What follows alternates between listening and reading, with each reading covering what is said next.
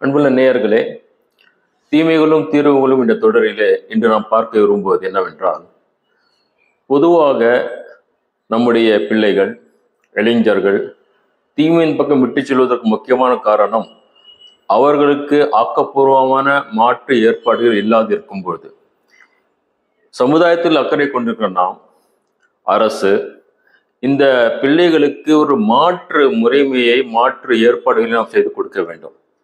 ஒவ்வொரு ஏரியாவிலும் விளையாட்டு மைதானங்கள். ஒவ்வொரு பள்ளிக்கூடங்களிலும் அது விளையாட்டுக்கான பல்வேறு போட்டிகள். அது அதிகப்படுத்த வேண்டும்.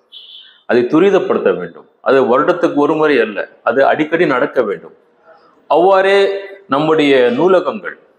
அது ஒரு சென்னை எடுத்துக்கொண்டால் ஒரு சில இடங்களில் மிகப்பெரிய நூலகங்கள் இருப்பது போல் ஒவ்வொரு ஏரியாவிலும் அது இருக்க வேண்டும். மக்கள் அதை இலகுவாக சென்று படிப்பதற்கும் நேரத்தை கழிப்பதற்கும் ஆக்கப்பூர்வமான பணிகளிலே தங்களுடைய நேரங்களை கழிப்பதற்கும் அது வசதியாக இருக்கும். இவ்வாறாக பள்ளிக்கூடங்கள் கல்லூரிகள் என்ஜிஓஸ் இவர்கள் எல்லாம் ஒன்று சேர்ந்து அனைவரும் ஒரு மாற்று ஆக்கப்பூர்வமான ஏற்பாடுகளை செய்தால் மிக நன்றாக இருக்கும். இது பிள்ளைகள் குறிப்பாக இளைய சமூகம் தீமைகளிலிருந்து விடுபட்டு அந்த ஆக்கப்பூர்வமான அவர்களுடைய கல்வியும் திறமையும் திறன்களும் அதிகப்படுத்தும் அந்த பணிகளில் அவங்க ஈடுபடலாம். இத்தகைய பணிகளில் நாம் ஈடுபட்டால் நன்றாக இருக்கும் என்று நான் நினைக்கின்றேன்.